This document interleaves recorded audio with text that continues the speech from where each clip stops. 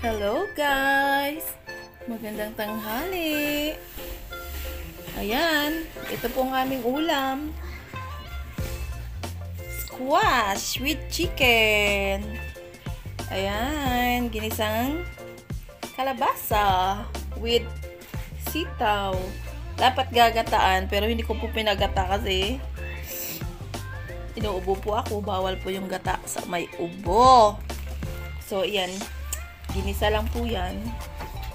So, ayan. Super yummy ang ating squash.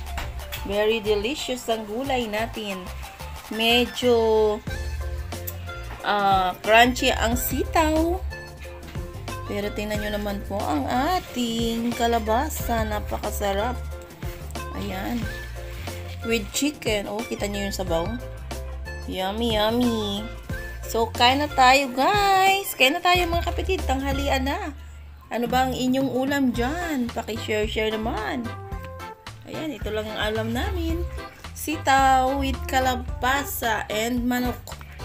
Ginisang kalabasa with sitaw. Ayan.